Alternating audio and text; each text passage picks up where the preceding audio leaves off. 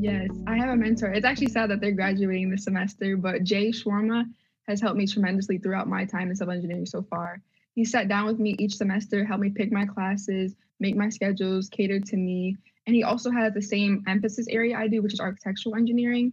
So we sit down and we make sure that the professors that I get are professors that I will get along with or that will teach courses that will be most interesting to me.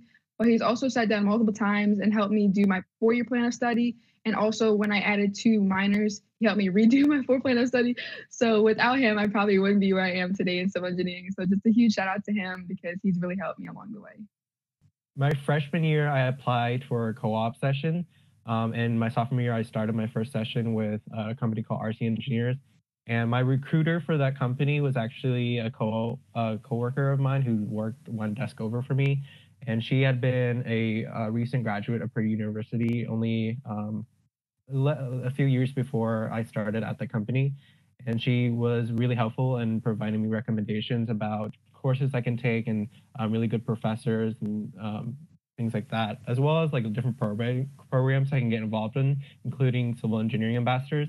And so with her experience as a Purdue graduate and like her going through the entire civil engineering program, um, she had a lot of recommendations, a lot of wisdom that she um, helped guide me through my undergrad experience. So uh, when I came into the first year engineering program, you had an opportunity to get a um, pair mentor through the Women in Engineering Mentors and Mentees program. And they try to pair you up with someone that's in your intended major. So I was paired up with a fifth year senior in civil.